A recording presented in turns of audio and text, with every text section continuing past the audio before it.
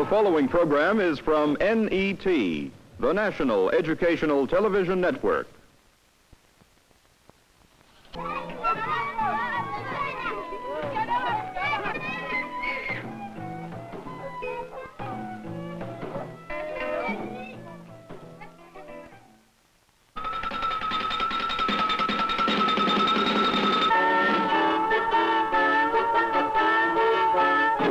This is NET, the National Educational Television Network.